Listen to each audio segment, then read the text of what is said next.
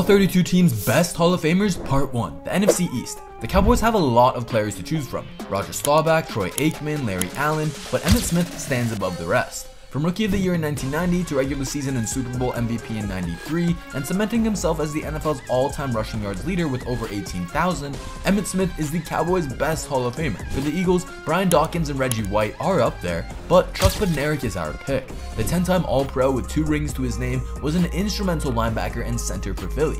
Moving on to the Giants, this one's easy, it's Lawrence Taylor. Arguably the greatest defender of all time, LT is one of only two defenders to win MVP, plus has two rings and three Defensive Player of the Year awards. Lastly, Washington's greatest Hall of Famer ever is 8-time All-Pro quarterback, DB, and punter, Sammy Baugh. You heard that right, Baugh played all three phases led the league in completion percentage 8 times, notched a league high 11 interceptions in 1943, and holds the NFL's second highest punting average ever. Baugh was truly one of a kind, so now you know.